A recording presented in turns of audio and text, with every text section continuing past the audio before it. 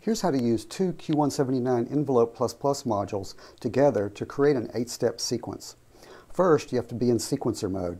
And in sequencer mode, the jacks and the switches change functions. And in sequencer mode, this top jack is a start gate. And any gate going in here will start the sequence. The jack on the bottom here is a done output.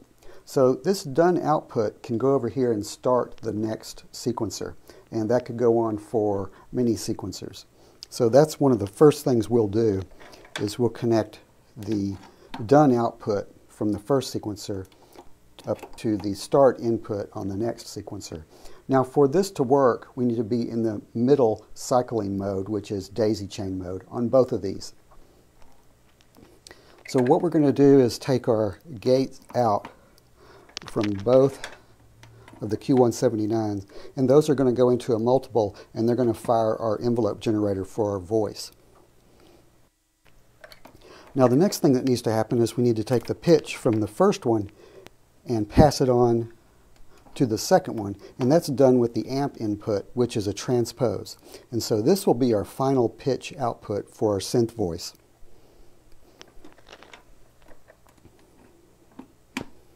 So now what we need is a gate here to start the whole sequence. And I'm using a V-plug, but it can be a gate from a keyboard so that you can have an eight-step arpeggiation.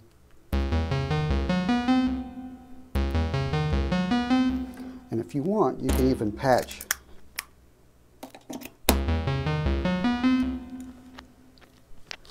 the done output from the final sequencer back into the start on the first one to keep the sequence going.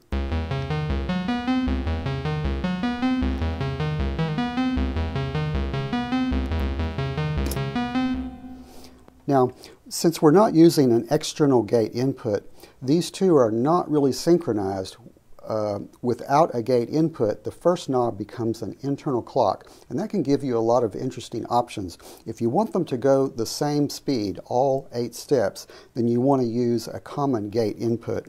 But in this case, we're going to use the internal clock, and we'll see how interesting that can be. So this one is going fast, and this one is going slow. And this one will go in slow, this will be fast.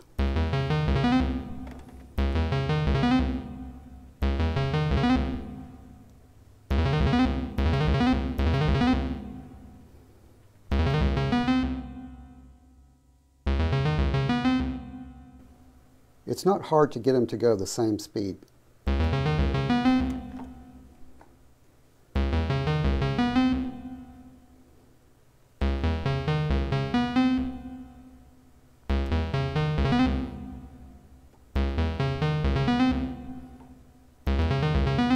Now remember, the pattern switch gives us the option of four steps or six steps, which is up and down, or random in the center. Let's go to random and try that. And the clock still works.